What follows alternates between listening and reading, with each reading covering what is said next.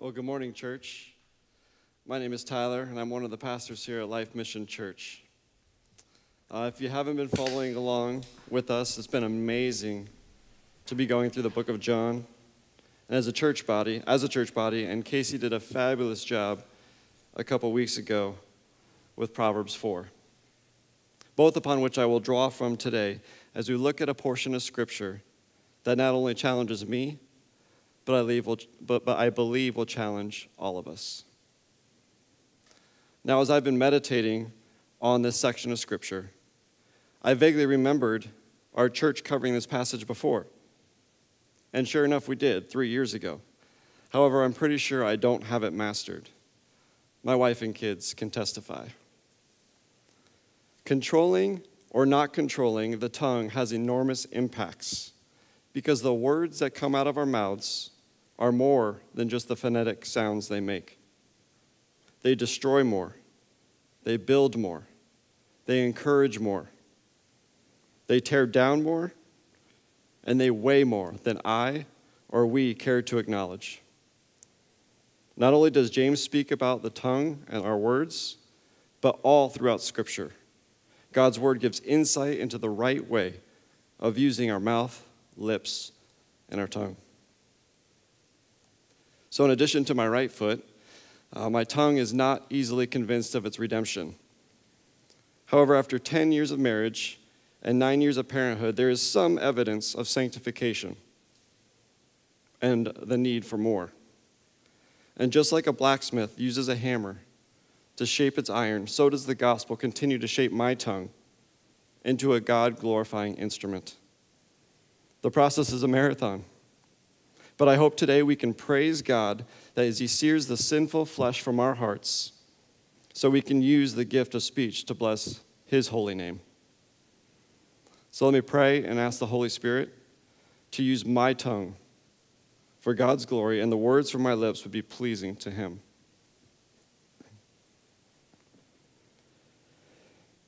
Holy Spirit, would you direct my gaze? Towards the Son as I seek you this morning, as I seek to glorify the Father with the words I say. Keep my heart in step with you. If there is anything that is not of you, may it not be said or heard. Father, would you reveal yourself to us this morning and magnify our affections towards the Son? I thank you that you have revealed yourself through the Word made flesh in Christ Jesus. And may your word make our hearts of stone become hearts of flesh this morning. I thank you and we love you. Amen. So, if you want to go ahead and turn your Bibles to James chapter 3, um, we're going to start there this morning, verse 1. And if you don't have a Bible, as Joby mentioned, we'll send you one, so let us know. Or the verses should be up on the screen behind me. Like I said, we'll be starting in verse 1 and going through verse 12. James says, Not many of you should become teachers, my brothers, for you know that we who teach will be judged with greater strictness.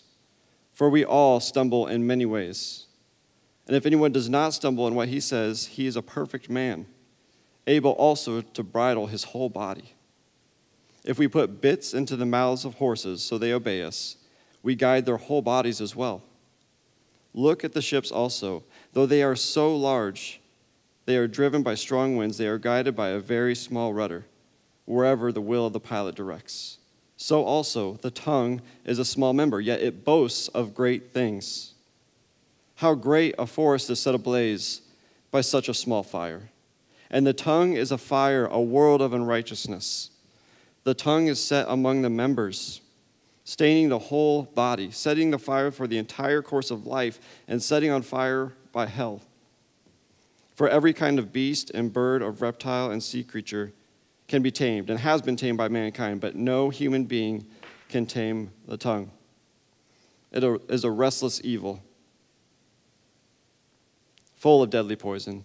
With it we bless our Lord and Father, and with it we curse people who are made in the likeness of God. From the same mouth come blessing and cursing. My brothers, these things ought not to be so. Does a spring pour forth from the same opening both fresh and salt water? Can a fig tree, my brothers, bear olives, or a grapevine produce figs? Neither can a salt pond yield fresh water. So, just a quick background on James, the author. He is the half brother of Jesus and later becomes one of the elders at the church in Jerusalem. Now, James' reputation amongst the Jews and the growing church is one of respect and authority. As we see in Acts 15 13, he settles a debate on how circumcision should be handled with the new converts or Gentiles. The book of James is actually one of the earliest of the New Testament letters. The book is referred to as some as the Proverbs of the New Testament. And all throughout James, he cuts straight to the heart. And here in chapter 3, he speaks with words of wisdom, warning us how we, why we woefully wander from the intended use of our tongues. Throughout the book, James makes clear that we should have audible fruit of a redeemed heart. He knew what Jesus said to the Pharisees On the outside, you are whitewashed tombs, but on the inside, dead man's bones. And we'll see in this section today what our speech reveals. Now, verse 1. I feel this weight of this verse now. Even now, because it says, For we who teach will be judged with greater strictness. I know that I will have to stand before God on that day and give an account. I will be asked, Did you feed my sheep?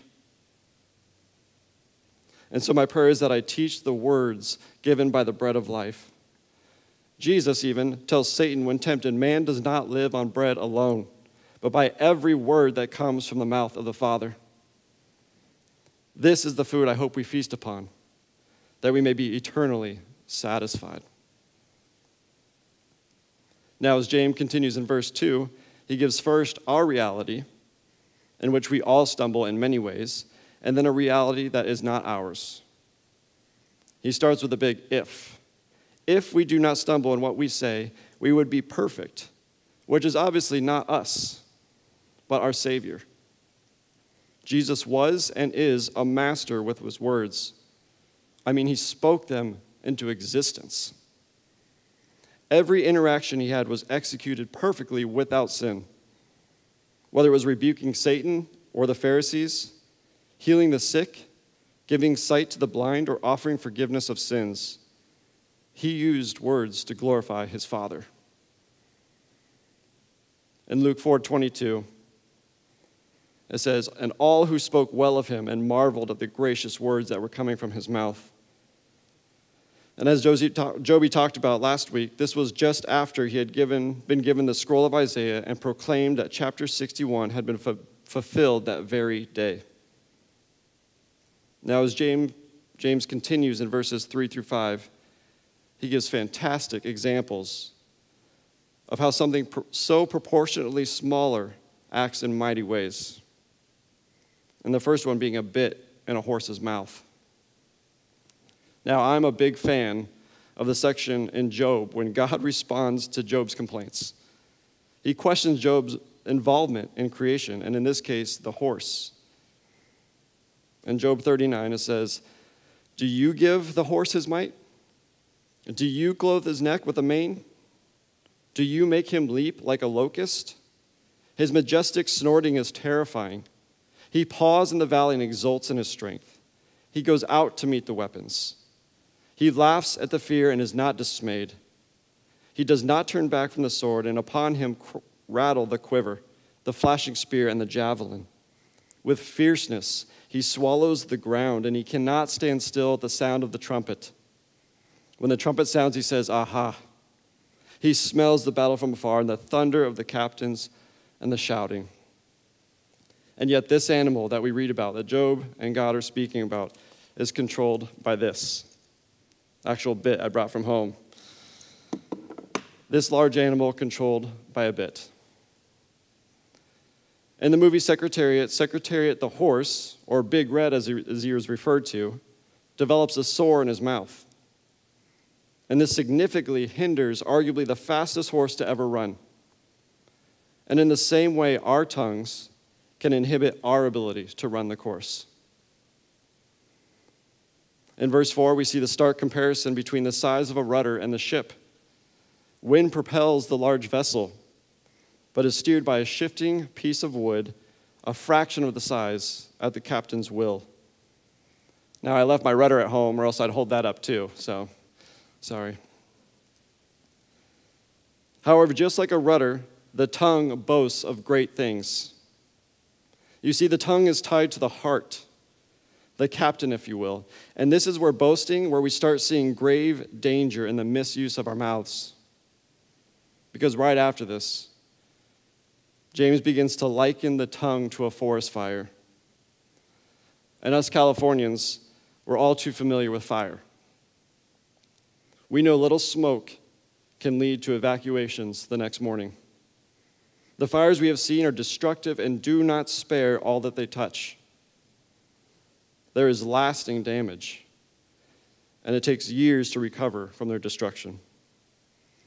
And at this point, James starts laying down some hard truths. Not only is our tongue a fire, but a fire of unrighteousness that stains the whole body. Sinclair Ferguson says this in his thick Scottish accent, which I am not about to impersonate right now.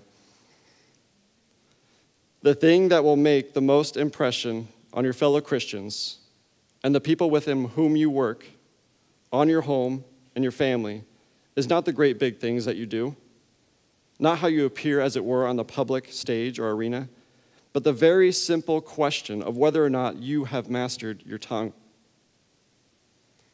Our words affect others, and they display what has affected our own hearts.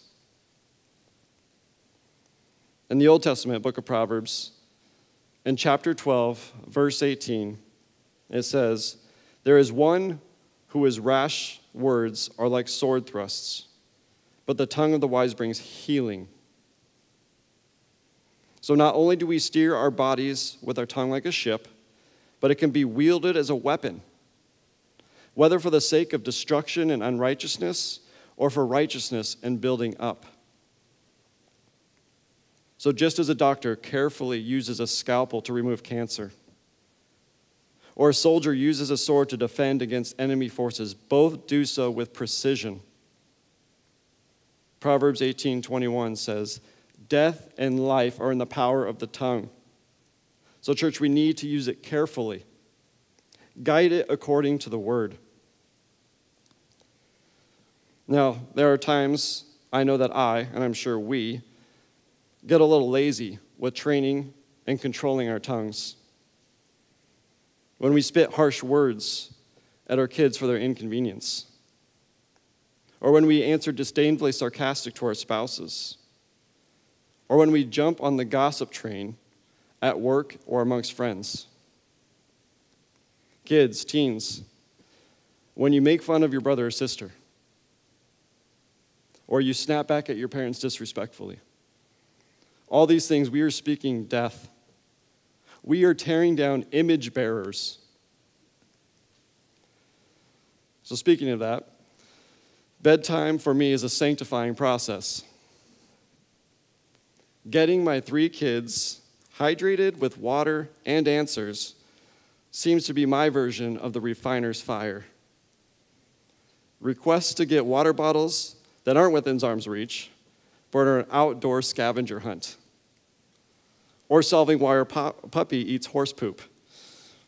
Each extraneous request exposes my heart. And as James says in verse 10, from the mouth come blessing and cursing. My brothers, these things ought not to be so.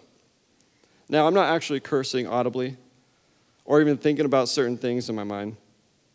But the attitude of my heart is definitely turning towards myself and turning from God. Then guess what happens after my kids are asleep? Oh God, you are so gracious to give me these children. Help me to love them like you love me. And God's like, I am helping you. Every night I give you a chance to show them patience just as I am patient towards you.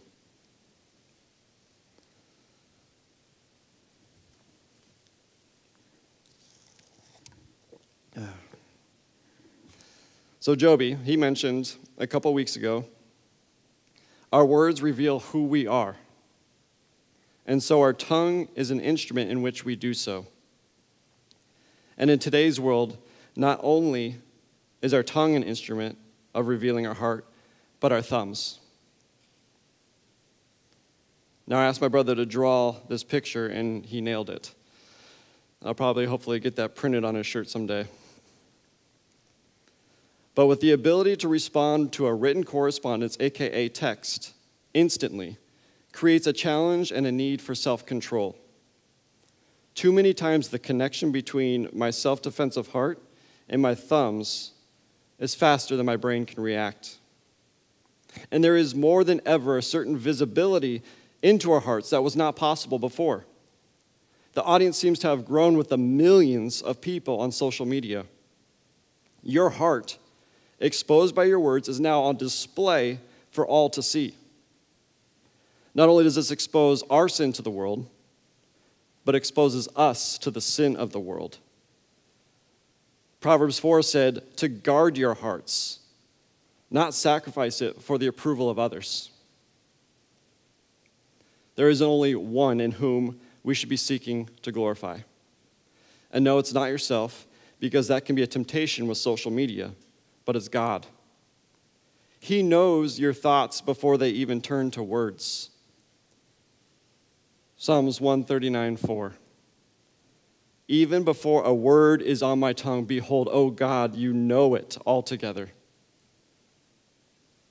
Hebrews 4. For the word of God is living and active, sharper than any two edged sword, piercing to the division of soul and spirit, of joints and marrow, and discerning the thoughts and intentions of the heart. And because of this, James even mentions in chapter 1, verse 19 be quick to listen slow to speak, slow to anger. And Solomon in Ecclesiastes Be not rash with your mouth, nor let your heart be hasty to utter a word before God. For God is in heaven, and you are on earth. So therefore, let your words be few. Now, I've been told that I can be quick witted at times, and I love using that gift, if that's what you want to call it, um, to make people laugh, even if it is only me laughing. Because most of the time it's just wasted on lame dad jokes. However, there are times in arguments where my quick wit goes unchecked, and it causes dissension instead of joyful union. Proverbs 18, 6. A fool's lips walk into a fight, and his mouth invites a beating. A fool's mouth is his ruin, and his lips are a snare to his soul. Most of the time, we know when we should hold our tongue. But saying how we really feel is too tempting. We become foolish in our pride, and we act immediately to protect ourselves or idols, or maybe those are one and the same. Proverbs 25, 28 says, A man without self control is like a city without walls. So, what do walls do? They guard and they protect. Just as Casey preached two weeks ago, we need to guard our hearts. We need walls built by the word of God. We need walls like Nehemiah and the people built to defend the city from their enemies. Jesus made this clear in Matthew 12. We'll get there in a second, but our enemy, our enemy is sin. When there is sin in our hearts, our tongue is drawing water, drawing words from a contaminated, contaminated reservoir. Now, Jesus in Matthew 12, he talked about this. Either make the tree good and its fruit good, or make the tree bad and its fruit bad. For the tree is known by its fruit. You brood of vipers, how can you speak good when you are evil? For out of the abundance of the heart the mouth speaks. The good person out of his good treasure brings forth good, and the evil person out of his evil treasure brings forth evil. Uh, Jonathan Edwards had several resolutions that convicted him to action. 70 to be specific. And number 31 is one I thought extremely relevant for today. So, as resolution number 31, he, he said he resolved never to say anything at all against anybody, but when it is perfectly agreeable to the highest degree of Christian honor and of love to mankind, agreeable to the lowest humility and a sense of my own faults and failings, and agreeable to the golden rule. Often, when I have said anything against anyone, to bring it and try it to the test of this resolution. This goes right along with Ephesians 4:29. Let no corrupting talk come out of your mouth, but only such that is good for building up, as it fits the occasion that it may give grace to those who hear. We need to master our tongues in such a way that the redemptive grace of Christ Jesus is made known through the careful use of our speech. We can't be jabbing into the air haphazardly. We need precision with responsibility. Psalm 141, great example. Set a guard, O Lord, over my mouth. Keep watch over the door of my lips.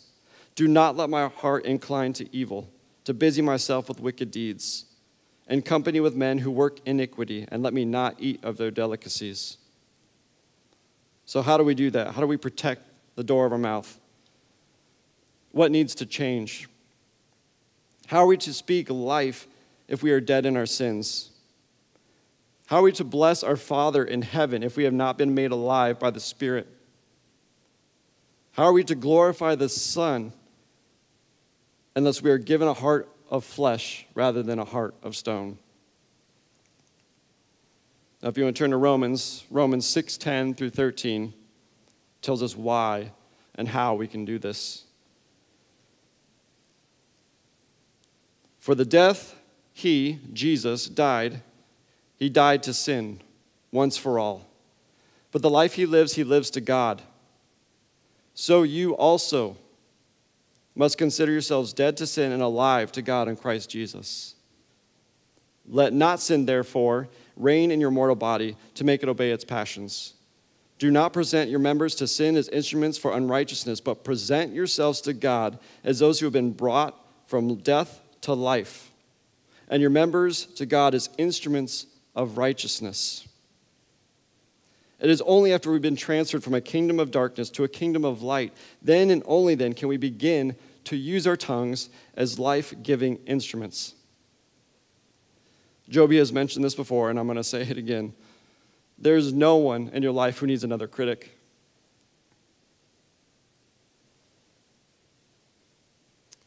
preaching myself here. We need to be encouragers. We need to be listeners. We need to be reminderers of the gospel in which we are being saved. Proverbs 10:20 says, "The tongue of the righteous is choice silver." In other words, they're valuable. Your words, when spoken in light of the gospel and for the sake of building each other up, are more valuable than you may ever know. Now, I mentioned a couple minutes ago, bedtime is not my greatest moment with my kids. But there are times when I give them words of encouragement and I can visibly see the change in their attitudes and their countenance. Encouragement is like fresh water for the weary soul. And when we are delighting ourselves in Christ, our reservoir is producing living water. Our lips are then speaking life into a world full of death and discouragement. Now, don't get me wrong, there are times that we need to say tough things to people we love. Because Proverbs also says, open rebuke is better than love carefully concealed. Faithful are the wounds of a friend, but the kisses of the enemy are deceitful. However, those should be one offs. Our default position should not be speck hunting Colossians 3:15 through 16. And let the peace of Christ rule in your hearts, to which indeed you were called in one body, and be thankful. And let the word of Christ dwell in you richly, teaching and admonishing one another in all wisdom, singing psalms and hymns and spiritual songs with thankfulness in your hearts to God. Now, I believe maturity of a Christian is not about how fast they can respond with biblical knowledge, but how quick they are to listen, how quick they are to show patience and gentleness. And I fail daily at this. Their ability to show love and unity even amongst disagreements. Psalms 15 says it this way He who walks blamelessly and does what is right and speaks truth in his heart, who does not slander with his tongue and does no evil to his neighbor, nor takes up reproach against his friend. And chapter 13 Whoever guards his mouth preserves his life. Just as James says, your tongue sets on course the entire course of your life. So, as we close this morning, I want to take a look at the end of Matthew 12, where Jesus was rebuking the Pharisees about the source of their words. Because he made a very sobering statement concerning our use or misuse of them. He says in chapter 12, verse 36 I tell you, on the day of judgment, people will give account for every careless word they speak. For by your words you will be justified, and by your words you will be condemned. But praise God, church, that we who have placed our faith in the Savior are justified by his words. It is finished.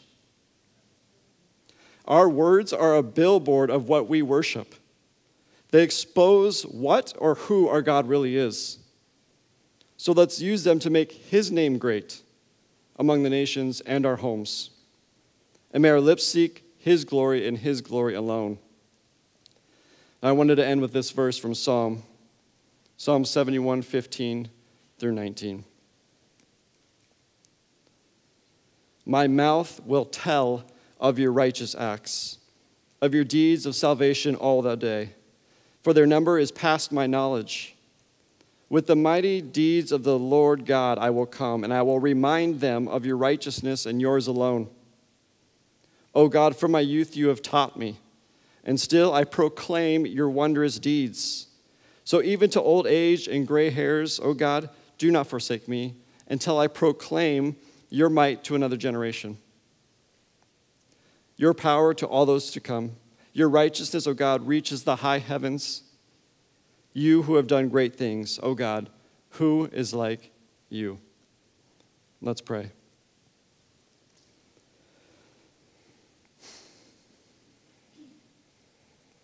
Father, we thank you for your wonderfully perfect word. You give and continue to give words of life through your Son the Word made flesh. Every word you spoke was to shine light into darkness and reveal the deep need for the redemption of our souls. Holy Spirit, would you continue to weed out all the roots of sin in our hearts that we may be like the Proverbs say, the lips of the righteous feed many. Help us to glorify you, Jesus the bread of life, who speaks to glorify the Father, the giver of all things. May we speak light into darkness by the power of your word. May our tongues seek to bless your name. Amen.